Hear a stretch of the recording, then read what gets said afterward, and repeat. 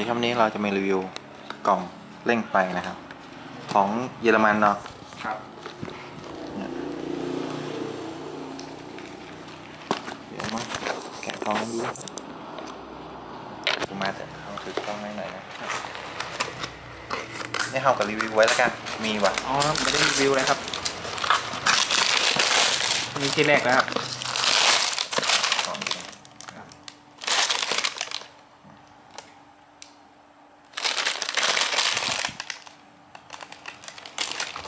เป็น จีทูนะครับ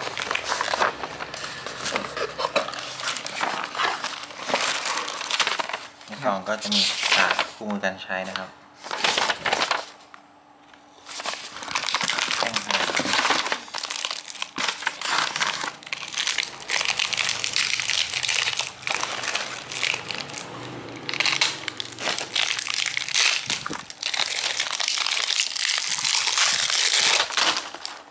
อ๋อ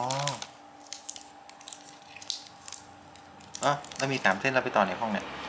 สีน้ำเงินต่อเข้ากับโครงครับ เสื้อสูบฝาสูบอะครับ แล้วแต่ครับ แล้วแต่หรือว่าเอาลงลงตัวถังก็ได้ครับ ลงโครงนะครับ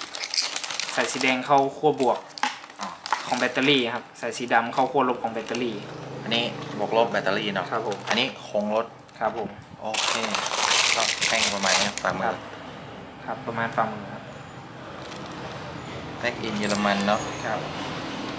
โอเค